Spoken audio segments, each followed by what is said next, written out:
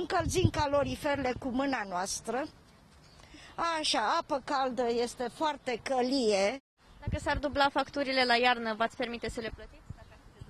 La pensia mea de 10-11 milioane, vă dați seama. E greu, e foarte greu. Și mai greu va fi de la 1 noiembrie, când bucureștenii vor plăti mai mult la întreținere pentru apă caldă și căldură. Asta după ce gigacaloria se va scumpi cu 110 lei. Chiar dacă se păstrează subvenția de până acum, facturile tot vor exploda. Iată și un exemplu. Potrivit estimărilor, într-un apartament cu două camere se consumă undeva la 6 gigacalorii în sezonul rece. Asta pentru a asigura o temperatură medie de 20 de grade Celsius.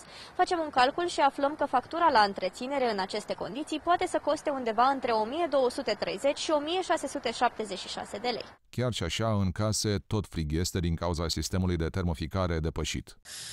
Apă caldă nu avem. Caloriferele sunt mai mult reci în sectorul 2 al capitalei. Temperatura din case nu depășește 22 de grade Celsius, o problemă cu care tot mai mulți bucureșteni se confruntă în ultima vreme. Ce să facem? Mai punem o haină pe noi, mai încălzim apa pe aragaz. Cred că oamenii vor suporta foarte, foarte greu această iarnă.